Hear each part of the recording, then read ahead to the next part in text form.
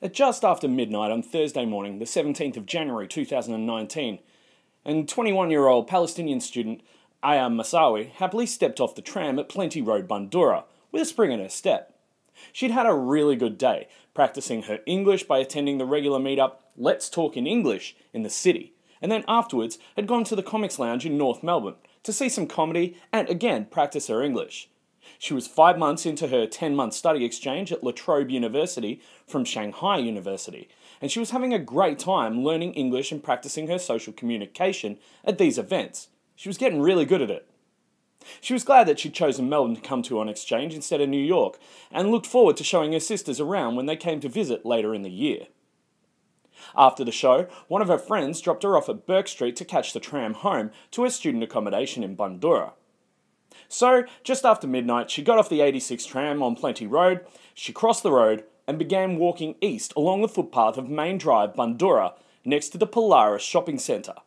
She'd walked this area many times before, and because of what had happened in the past to women like Eurydice Dixon or, or Jill Meagher, she decided to call Ruba, her sister, in Israel, on FaceTime.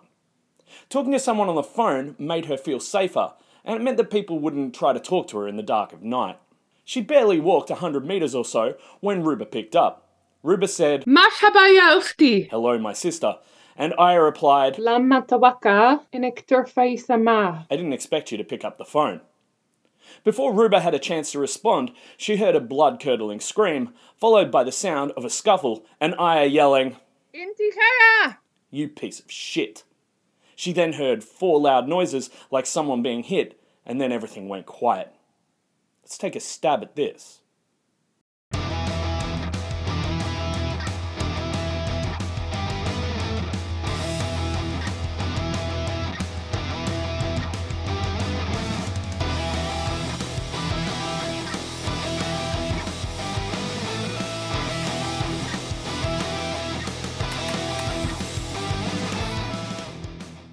Hi, mates, and welcome to Something About Murder. I'm Jay Something, and every week I bring you a couple of cases from Australia's true crime history.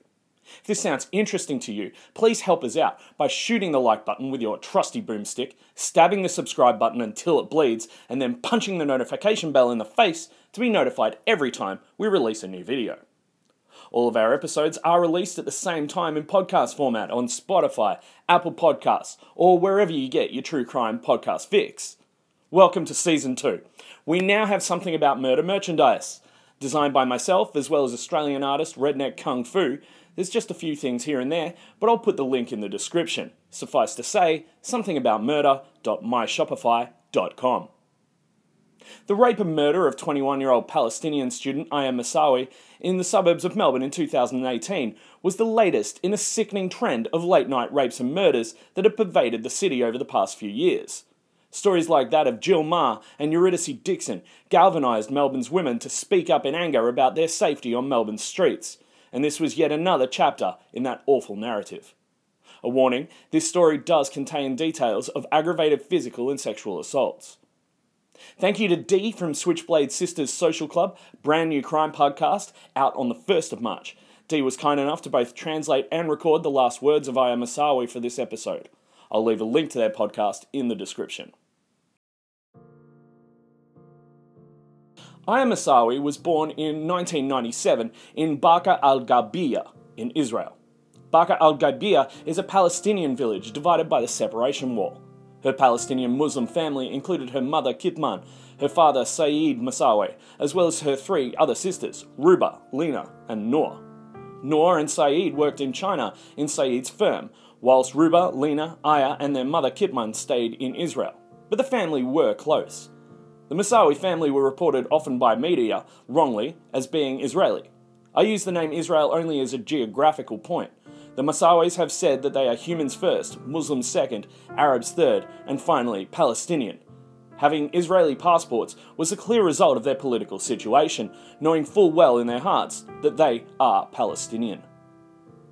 Aya, like her sisters, was an excellent student, receiving excellent marks in her secondary education in Israel, allowing her the freedom to follow in her sister Noor's footsteps with her tertiary studies at Shanghai University, undertaking a business degree and intending to work later at her father's firm in China with Noor. She was fluent in Arabic, Hebrew, and in Mandarin. And in late 2017, she was offered the opportunity to take part in a 10 month student exchange program, either in New York or in Australia, in Melbourne. Aya chose to come to Australia, thinking that Melbourne was more culturally diverse, and began studying at La Trobe University in August 2018. She was most concerned with improving her English communication and focusing on attending events created over a popular website Meetup, where people would get together and practice their English in social settings, whether it be in bars or playing games, or attending other events like stand up comedy or music. Aya loved living and studying here, and her family were looking forward to coming and visiting her in Australia. Aya was a friendly, optimistic, kind young woman who had her whole adult life ahead of her. She was a loving and much loved member of the Maasarwe family, and like many young people, wished for peace between Israelis and Palestinians. Cody Herman was born in September 1998 to a First Nations mother and a German father, both of whom were only 19 at the time. Cody had an older sister, Ruby. Due to his mother's drinking issues and abuse, Cody was brought to the attention of social workers by the time he was six months old, resulting in Cody's temporary removal from his parents. This was a result of a violent scuffle between his parents, which ended up with Cody's father throwing a television at Cody's mother, which ended up falling on Ruby. By the time Cody turned one, his mother had left him in the care of a relative whose own kids had been taken away by a judge owing to severe mistreatment. Six months later, Cody was once more placed in foster care and admitted to the hospital with scabies. Cody came to the attention of welfare agencies multiple times through the course of the first uh, 18 months of his life, while residing with one or both of his parents. Because of their ongoing drug and alcohol usage, domestic and emotional abuse, and failure to provide for his basic necessities, including sufficient food. Cody and his sister experienced such severe physical neglect that they had gastrointestinal issues, uh, decayed teeth, and skin conditions as a result of poor hygiene. Additionally, both kids had delays in their developmental milestones. You know, things like uh, first words, first sentences, and using syllables. There's no doubt that the environment in which Cody lived for the first three years of his life was one of extreme physical and emotional deprivation. Midway through 2001, when Cody's mother took him and his sister to Perth, his father reported her for assaulting the kids and regularly abusing alcohol. Due to that, both children were taken from their mother and placed in the care of a resident in Bundoora, and this was eventually made permanent. Cody's father did not want to see any of his children at all after arriving in Melbourne with his new girlfriend. From around the age of six, Cody's father had played a very small part in his life, and Cody barely remembers him. Additionally, over the years, Cody's mother showed little interest in keeping in touch with him. Although she was meant to have regular access visits, she frequently postponed them, skipped them, or showed up drunk. Cody started attending school in 2004 and quickly started acting in ways that were problematic. He had troubles with his self esteem and rage, and was considered to be emotionally brittle. He had a hard time making friends and navigating social play scenarios, struggling with self control, and frequently acting aggressively or rough with other kids. Cody also didn't pay too much attention in class and was known to have constant nightmares and slept in the fetal position. When Cody was 13 years old, his mother passed away. That was accompanied by a gradual deterioration in his behaviour. Problems with rage, drug and alcohol misuse, and skipping school started to surface, and Cody began associating with people who were, let's say, a bad influence on him. By late 2014, around the age of 16, Cody had started leaving his foster home and occasionally sleeping on the streets. The police became engaged after he went missing for around a month in April 2015. Even though he went back to his foster family, there were clear conflicts there, and by the end of the year, the placement was no longer working. But Cody would still return to the foster home occasionally after that. Cody's first known interaction with mental health services was in November 2016, when he was sent as an inpatient to Orygen uh, Youth Health, because he was severely psychotic. A fortnight after beginning to take an antipsychotic drug, he was released. Cody had more interactions with mental health services in 2017, including a subsequent hospitalisation in July 2017, and noted that his daily thoughts were starting to become paranoid. Cody regularly stopped taking medication against recommendation and did not interact well with treatment teams. Cody's drug induced psychoses appear to be what led to those interactions with mental health services. He'd experimented with a variety of illegal substances since he was in his early teens, but meth and cannabis were what he used regularly and heavily. Over the second part of 2017, Cody's mental health deteriorated due to increased drug use and paranoid thoughts. He was having trouble in school and was living in transitional housing for young people. Cody eventually left school midway through year 11 and left the temporary housing in June 2018, around the same time. He had the intention at this stage of going back to his foster mother, but because he was unable to stop taking drugs, he eventually left the foster home again and began living homeless in September of that year. Around the same time, Cody broke up with his girlfriend, and in December, he attempted suicide. Cody's friends were limited to a small group of people, all of whom were also abusing drugs, and Cody was not particularly close to anybody. In January 2019, Cody was squatting in an abandoned, condemned house in Greensborough, estranged from his foster mother and biological sister. His sole source of income, Centrelink benefits, was largely spent on drugs, and Cody fed himself by shoplifting from supermarkets. He lived on a diet of croissants and chocolate milk, with a lifestyle in constant pursuit of weed and meth.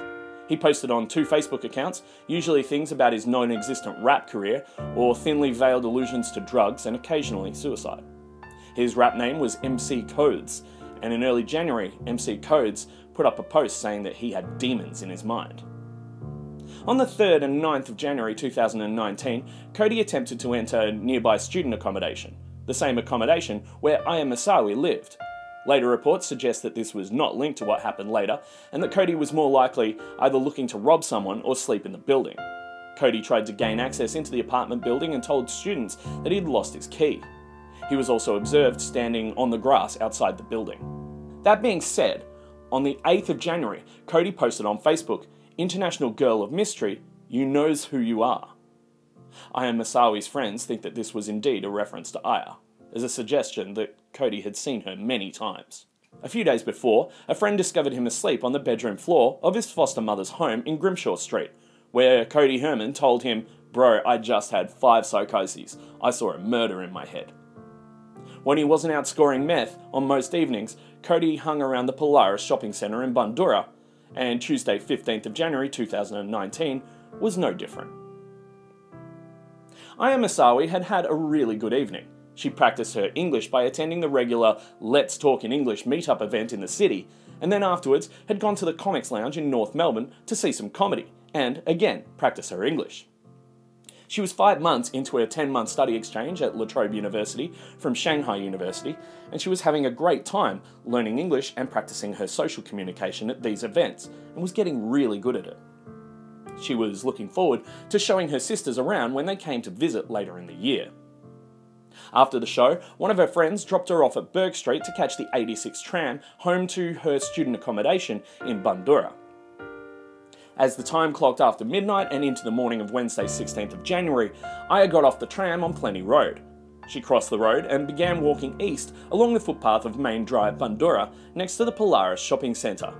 She'd walked this area many times before, and because of what had happened in the past to women like Eurydice Dixon or Jill Meagher, she decided to call Noor, her sister, on FaceTime. Talking to someone on the phone made her feel safer and meant that people wouldn't try to talk to her in the dark of night. Unfortunately, Noor didn't answer, so Aya decided to try one of her other sisters, Ruba, at home in Israel. She'd barely walked 100 metres or so when Ruba picked up. Ruba said, ya Hello, my sister. And Aya replied, I didn't expect you to pick up the phone. At 12.07, after asking a man for a cigarette, Cody Herman left the Polaris shopping centre through the car park onto Main Drive. Shortly thereafter, he saw Aya Maasarwe walking towards him. She'd only walked maybe 100 metres since getting off the tram. Before Ruba had a chance to respond to Aya, she heard a blood curdling scream, followed by the sound of a scuffle and Aya yelling, Intihara!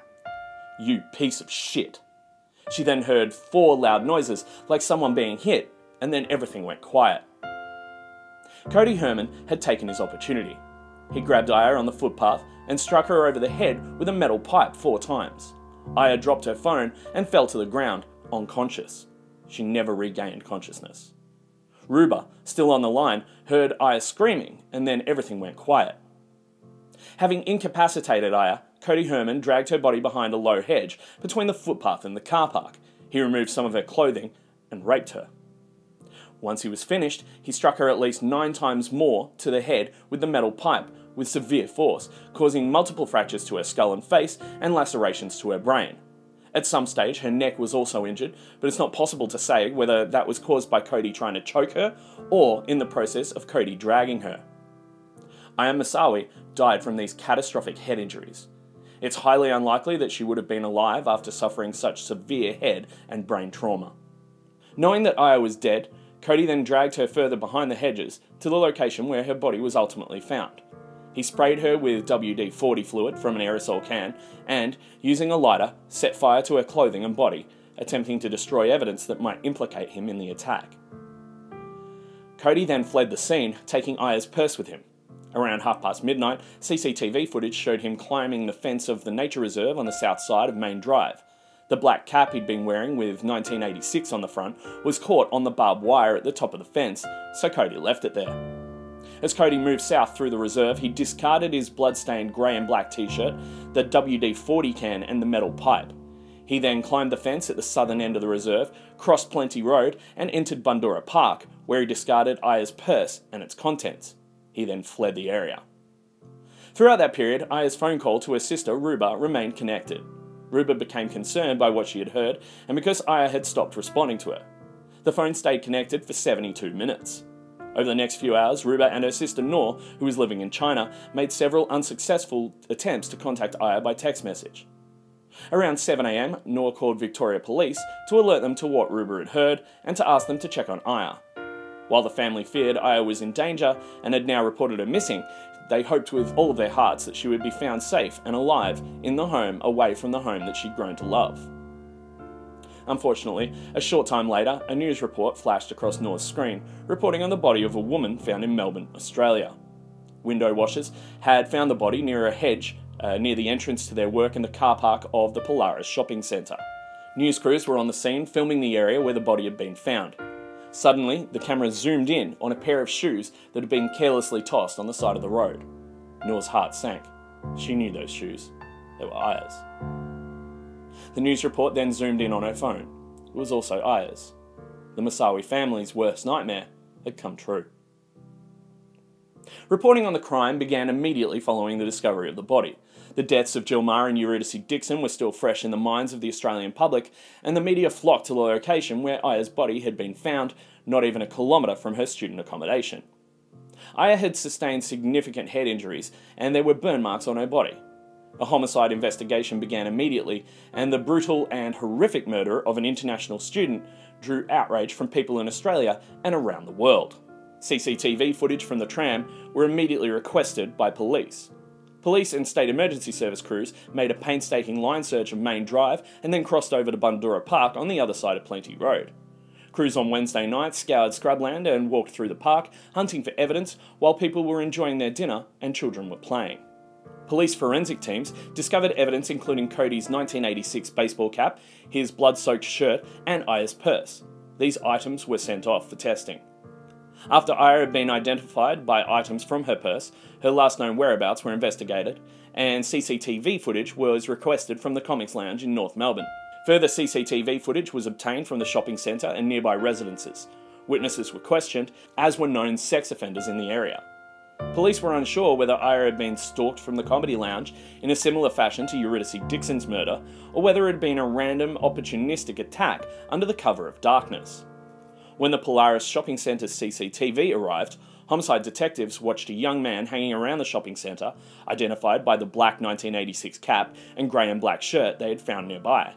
They saw that the young man didn't have the metal pipe with him during that evening of the attack, suggesting that he'd either found it or had stashed it somewhere, along with the WD 40. Other CCTV footage from the early learning centre next to where Aya was found saw the same young man climbing the fence where his black cap was later found. Due to his drug use and vagrancy, the man was known to local police, and a number of officers were able to identify him quickly as Cody Herman. Importantly, they also knew where he hung out. On Friday, the 18th of January, police began investigating Cody's last known locations, including his foster mother's house on Grimshaw Road, Bundoora, and other nearby shopping centres. A park near a condemned abandoned property in Greensborough was identified as a possible location for Cody, and sure enough, he was found there at 11am. As he was arrested, Cody told the arresting officers that he didn't kill no one. He was taken to the Docklands police station for questioning by homicide detectives and maintained that he had not killed or raped anyone. He couldn't explain how his DNA and fingerprints came to be on so many crime scene items. Eventually, after a long time of questioning, Cody Herman came clean. He told detectives that he killed and murdered the girl in Bundoora. He was taken into a waiting police car and driven out to Bundoora to walk and talk police through what had happened on the evening of Tuesday 15th of January into the morning of Wednesday 16th of January. Cody couldn't explain where he got the metal pole or the WD 40, although evidence suggested he'd stashed it nearby, whether for protection or for these crimes. Police were satisfied, and Cody was formally charged with murder and taken back into custody in preparation for arraignment the next day. Meanwhile, Saeed Maasarwe arrived from Israel to formally identify the body of his middle daughter. Aya's older sister Noor also travelled to Melbourne. On the same day, vigils were held at La Trobe University and on the steps of Victorian Parliament. A specially arranged 86 tram left the tram stop in the city where Aya had left her friends, and many people followed the same route Aya had taken on the night of her death. Flowers filled the tram and were left on Main Drive in Bundoora, near where Aya had been found. Aya's father Saeed attended both vigils. He expressed gratitude for the support his family had received from the community and police, and said that Aya was an amazing person with big opinions. Saeed waited until the crowds had left to inspect the tribute to his daughter, a framed photograph surrounded by candles and flowers. He also asked media organisations for the spelling of the name to be changed to AYA instead of AIIA, which police have been using based on her passport information to reflect their wish for her to be identified as Palestinian. I am sad because this is the last place my daughter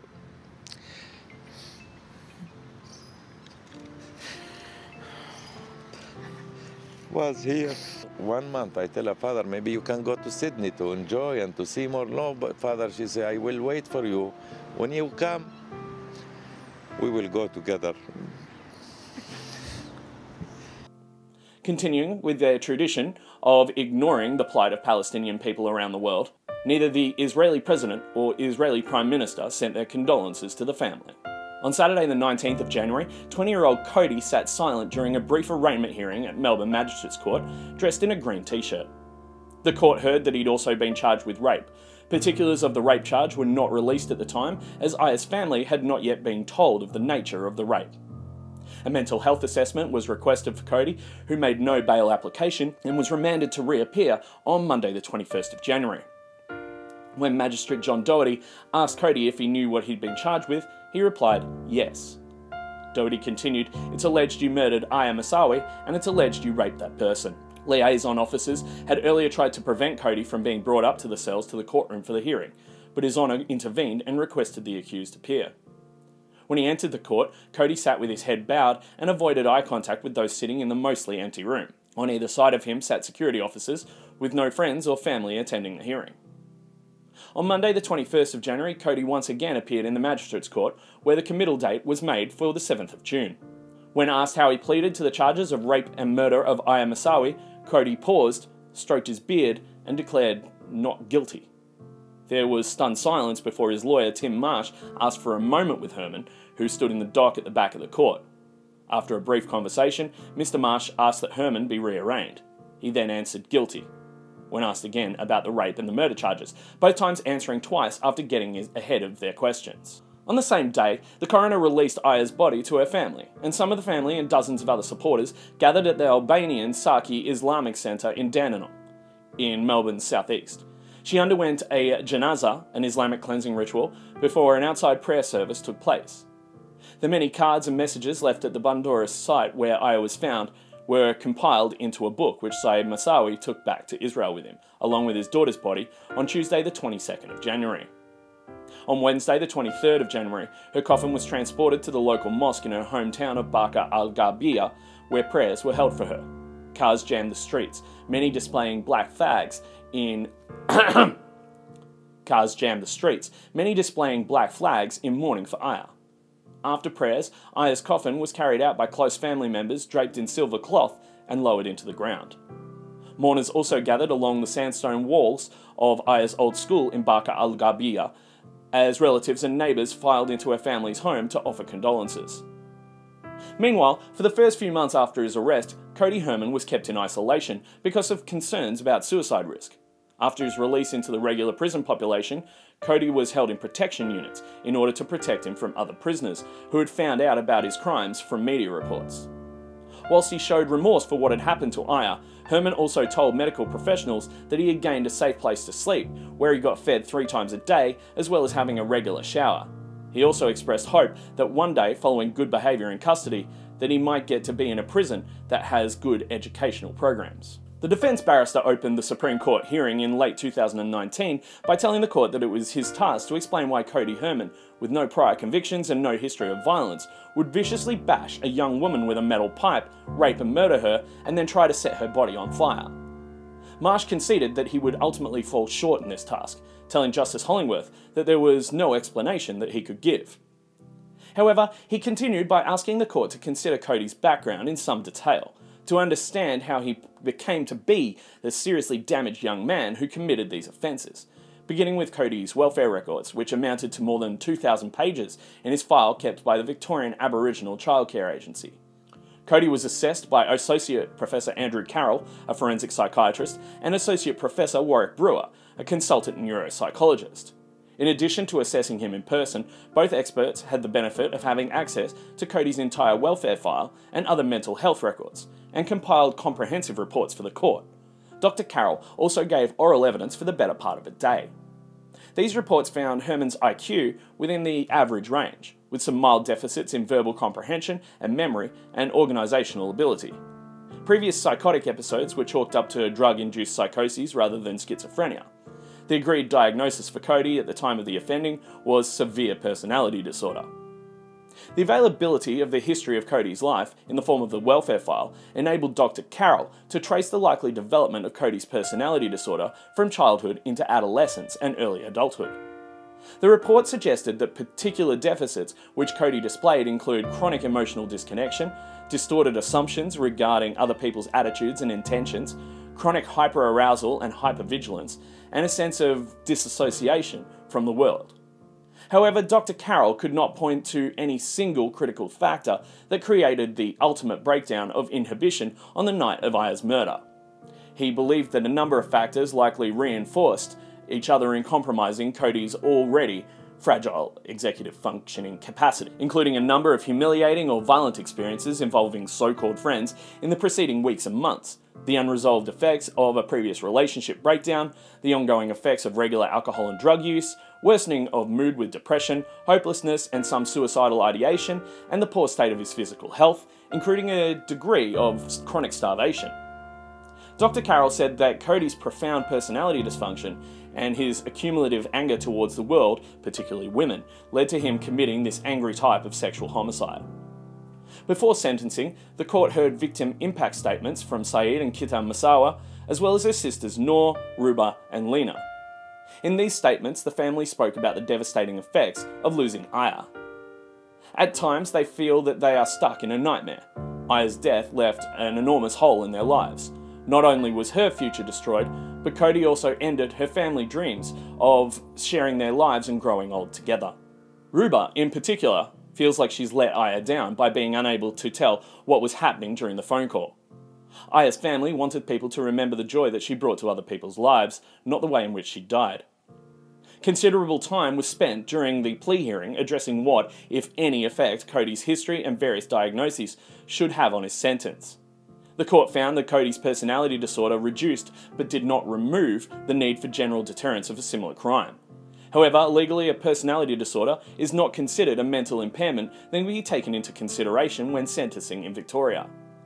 In particular, Her Honour said that women should feel free to walk the streets alone, without fear of being violently attacked by strangers, and that Cody's sentence had to reflect the court's denunciation of his terrible crimes.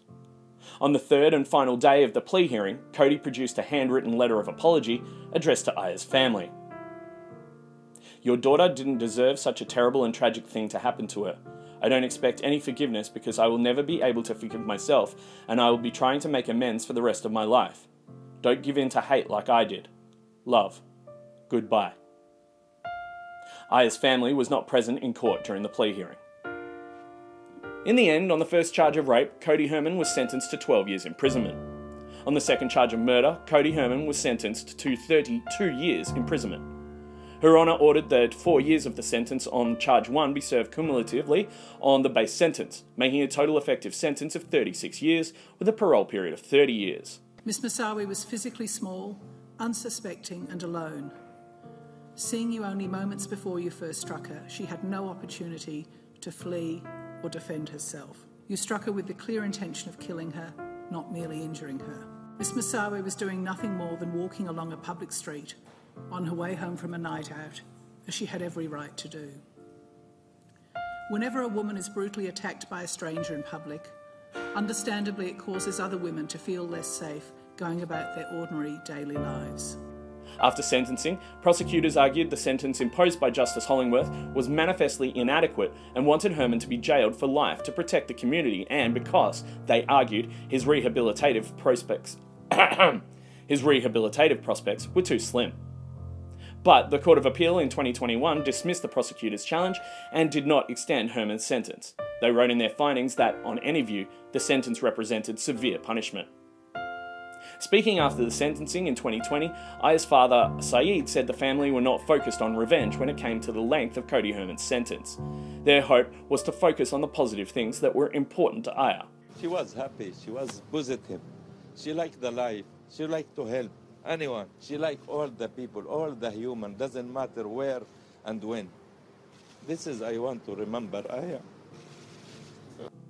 Last year, Saeed Maasarwe announced the family's support of a special fellowship set up in Aya's name for Palestinian physicians to train in Israeli hospitals. He said that Project Rozana showcased Aya's dream for the world, showing that Israelis and Palestinians can live and work together in harmony. He said it was fiercely important to her. Codey Herrmann is currently serving his sentence in Barwon Prison. He was eligible for parole in the year 2049. Thanks for your time today. I really appreciate you watching the whole video. Join me next time as we trawl through another episode in the true crime history of Australia. If you've enjoyed this video, once again, please go ahead and shoot the like button with your trusty boomstick and stab that subscribe button until it bleeds. Make sure you also punch the notification bell in the face so you can get notified every time we release a new video. It really helps us out. And remember, all of our episodes are released at the same time on Spotify, Apple Podcasts, or wherever you get your podcasts from. I'm on Instagram at Something About Murder, and I respond to every message I receive. So I hope to hear from you, and I hope you don't get murdered. Stay safe out there. Bye.